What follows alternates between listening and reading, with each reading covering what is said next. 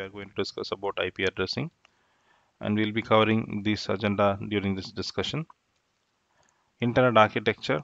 So we have two types of network, internet and intranet. Internet is mainly used for connecting to branch offices or private networks, whereas internet is used for connecting any people across the globe. If they have network connectivity, we'll be able to send and receive information from them. So it is working in the public network and uh, anyone can access any systems in the open internet. Definition of IP. IP stands for Internet Protocol.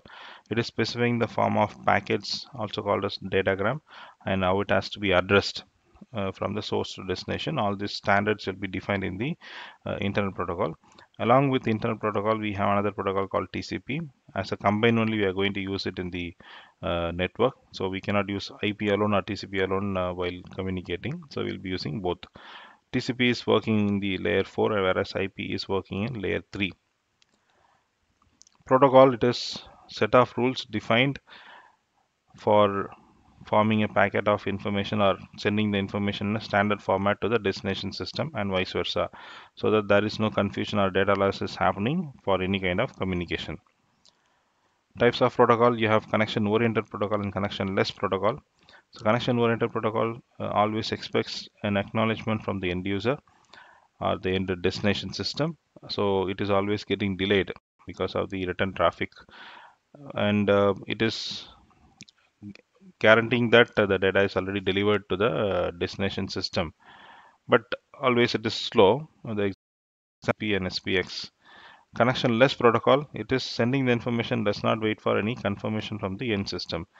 And always it is guaranteeing the data that uh, the ex expected data is delivered.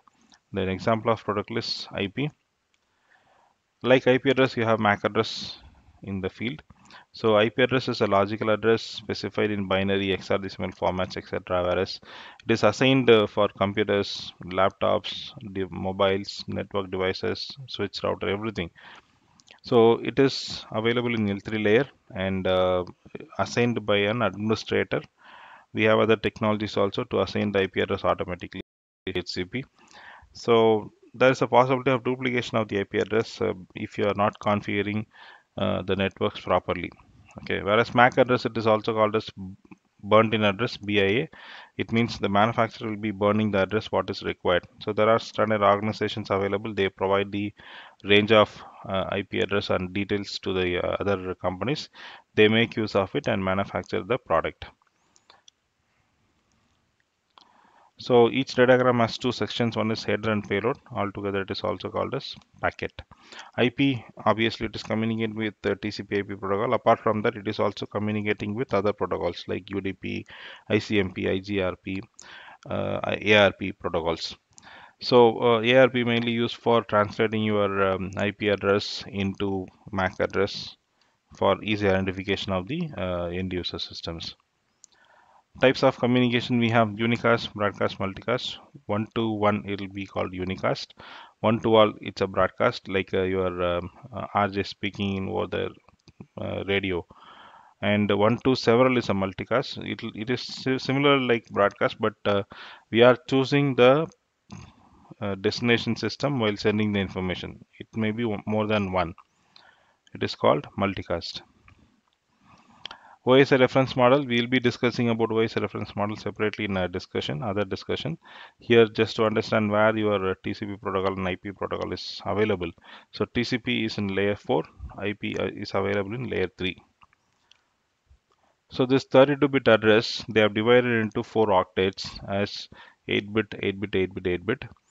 So uh, 2 power 8 is 128 it's a binary calculation what we have to do while bringing the uh, uh, IP networking. So it is taking a portion of first octet and uh, it will be used for networking. Uh, rest of three octet will be used for uh, IP addressing. So IP address is allocated by the agencies called InterNIC, which is responsible for US and Canada. RIPE is for Europe and APNIC is for Asia and Pacific.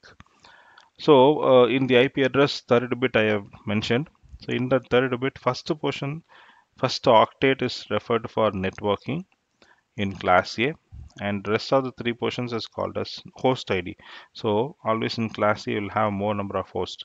Class b it is taking 16 bit. That is first two octets for network and two octets for host.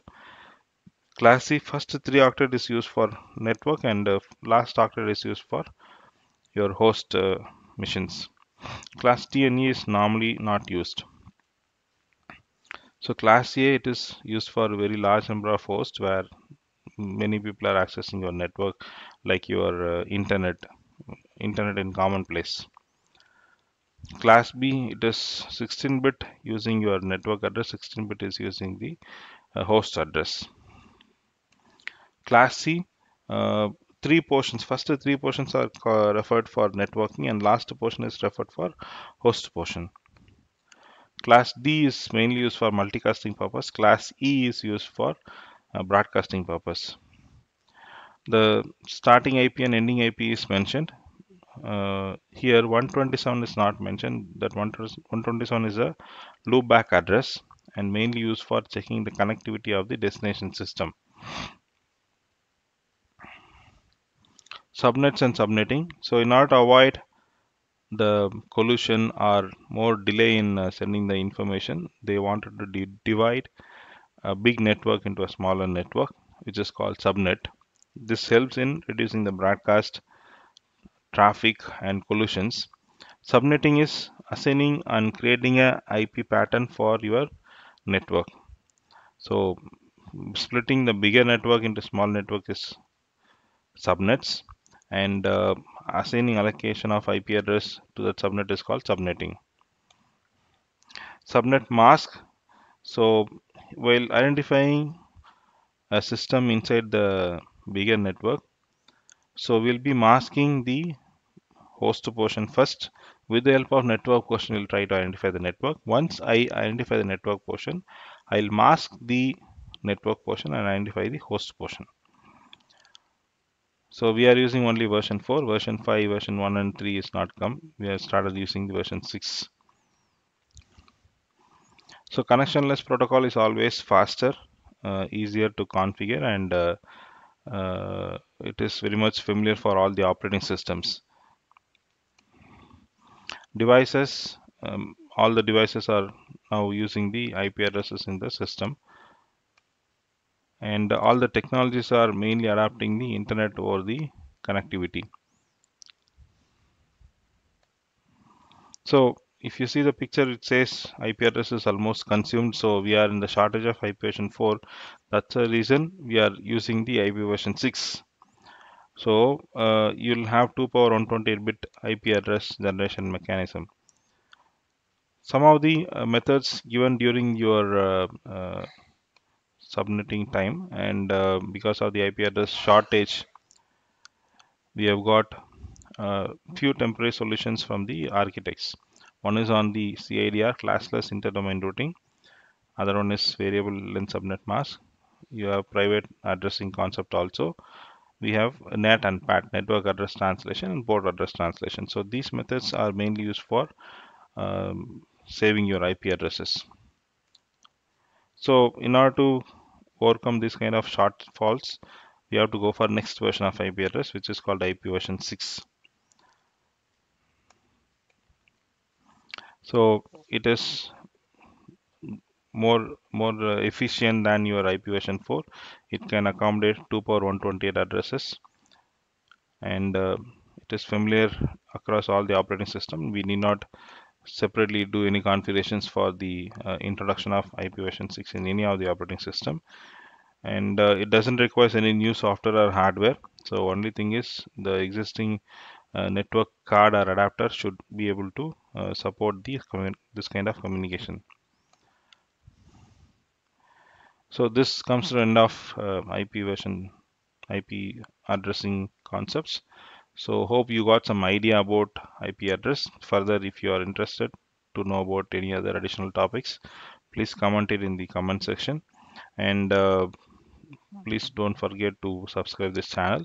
We are going to release another topic for uh, interconnecting devices followed by other um, uh, network technology series. So requesting everyone to subscribe this channel. Thank you